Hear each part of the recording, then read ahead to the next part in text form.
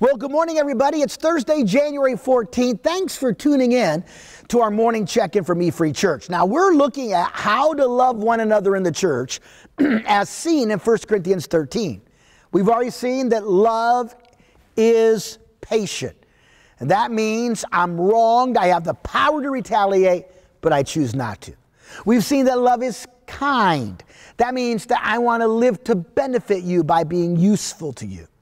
We also saw that love is not jealous. I won't try to deprive you of the blessings that God brings into your life because He did not bring them into my life.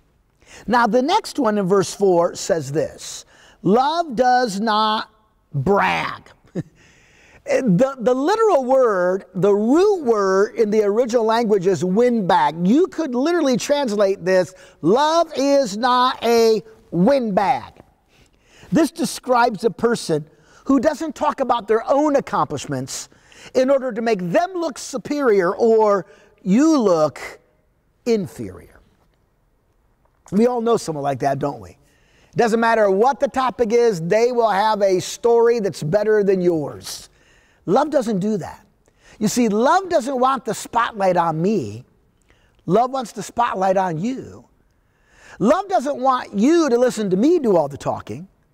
Love wants me to listen to you do the talking. Love does not brag. And then the last one in verse number four is this love is not arrogant. Now, bragging is the verbal action of pride, arrogance is the inner attitude. In other words, this describes someone who doesn't think they're better than you. In fact, I believe that this is seen clearly in Philippians chapter 2 and verse number 3. Here's what it says Do nothing out of selfishness. That's the desire to get ahead. And do nothing out of empty conceit. That's the desire to be seen, to be recognized, to be applauded.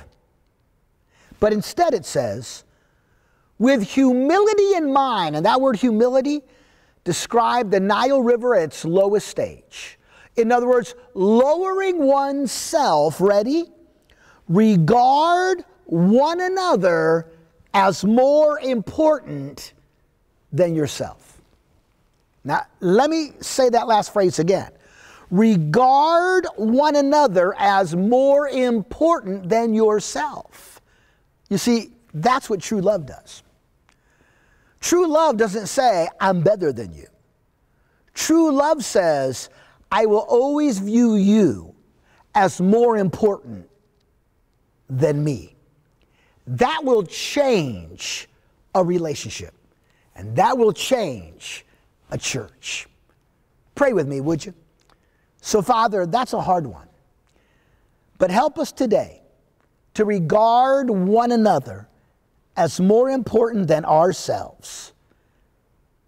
Help us to do nothing out of selfishness or vain conceit, but with humility of mind, regard one another as more important than ourselves. And I pray this in Jesus' name. Amen. Well, I hope you'll share this on your Facebook page. Hope you'll be back tomorrow morning. It'll be our last check in of the week, and we'll continue our look at 1 Corinthians 13.